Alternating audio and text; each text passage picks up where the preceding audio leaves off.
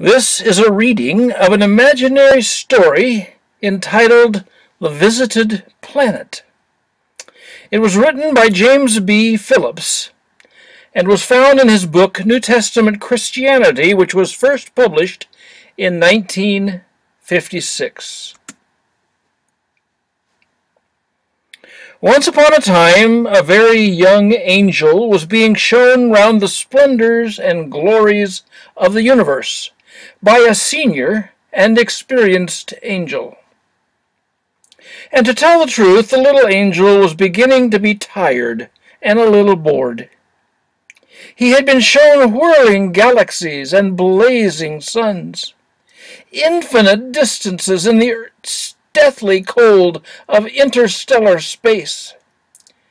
And to his mind there seemed to be an awful lot of it all. Finally, he was shown the galaxy, of which our planetary system is but a small part.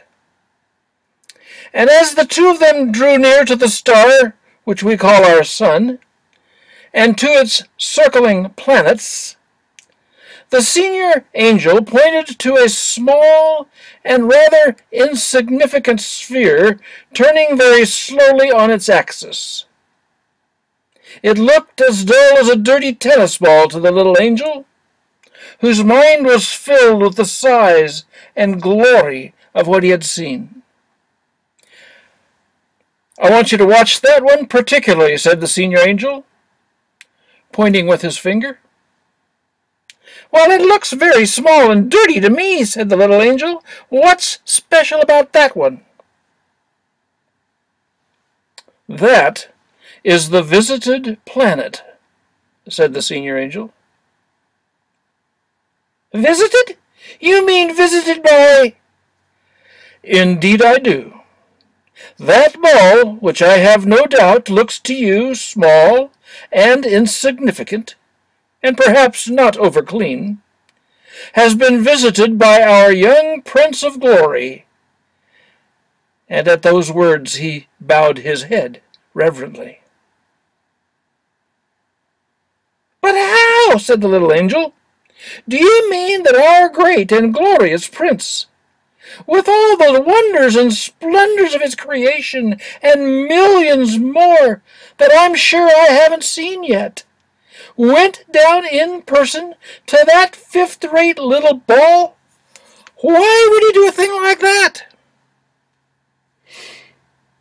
It isn't for us to question his whys, said the senior angel, except that I must point out to you that he's not impressed by size and numbers as you seem to be. But that he really went, I know, and all of us in heaven who know anything know that. And as to why he became one of them, how else do you suppose he could visit them? The little angel's face wrinkled in disgust. Do you mean to tell me that he stooped so low as to become one of those creeping, crawling creatures on that floating ball?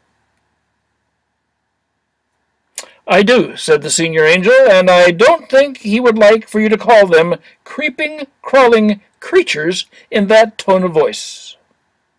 For strange as it may seem to us, he loves them. He went down to visit them and lift them up to become like him. The little angel looked blank. Such a thought was almost beyond his comprehension. Close your eyes now for a moment, said the senior angel, and we will go back in what they call time. So while the little angel's eyes were closed and the two of them moved nearer to the spinning ball, it stopped. It spun backwards quite fast for a while, and then slowly resumed its usual rotation. Now look, said the senior angel.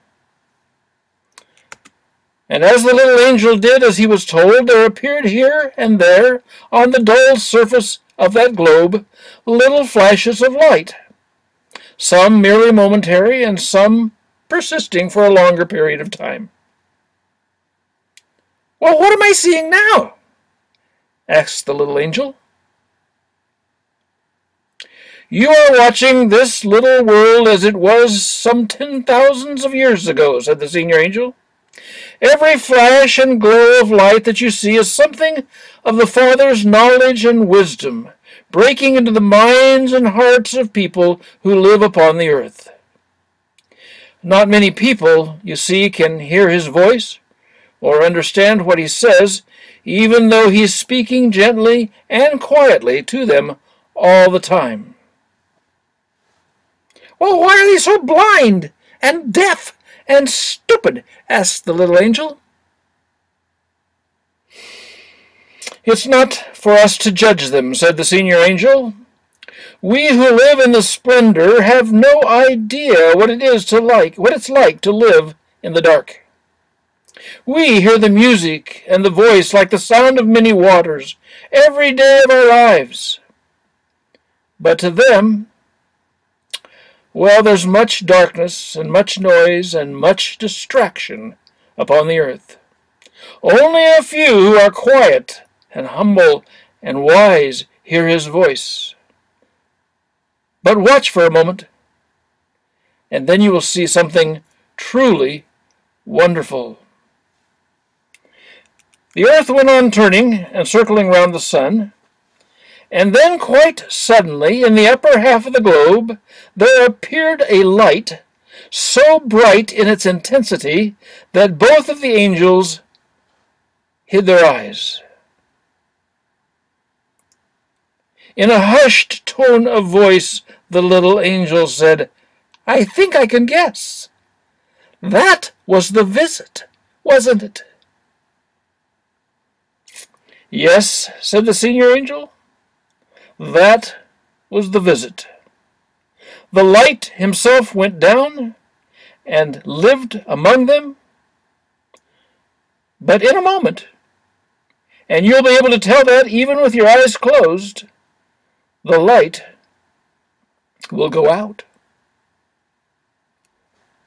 But why? asked the little angel. Could he not bear their darkness and stupidity? Did he have to return here? With a stern voice, the senior angel said, No, it wasn't that. They failed to recognize him for who he was, or at least only a handful knew him, and for the most part they preferred their darkness to his light. And in the end, they killed him. The fools! The crazy fools! They don't deserve. Neither you nor I, nor any other angel, knows why they were so foolish and so wicked, explained the senior angel. Nor can we say what they deserve or don't deserve.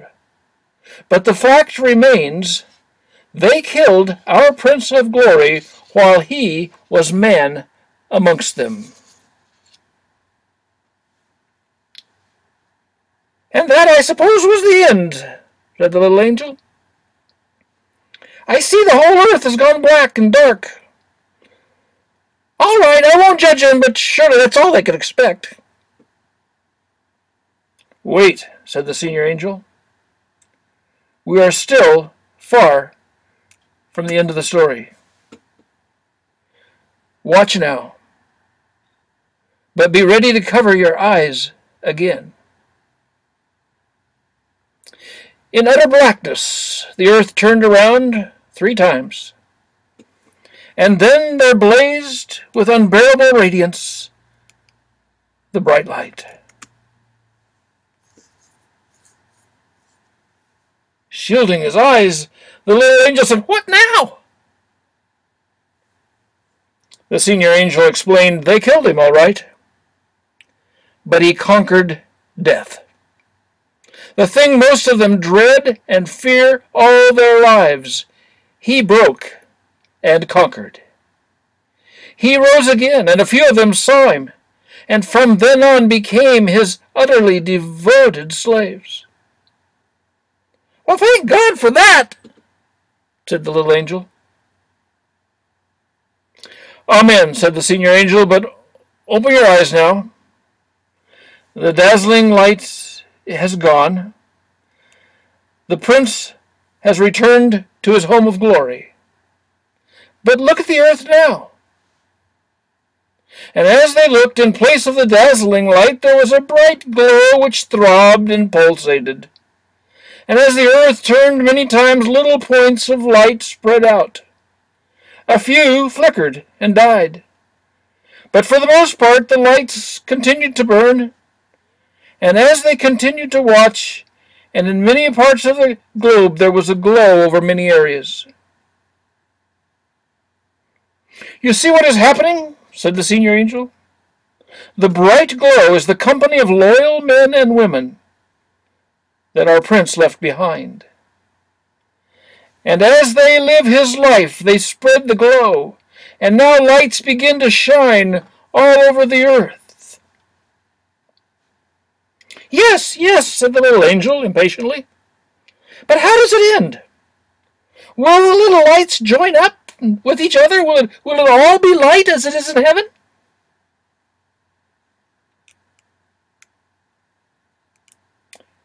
We simply do not know, said the senior angel. It's in the Father's hands. Sometimes it's agony to watch. Sometimes it's joy unspeakable. The end is not yet.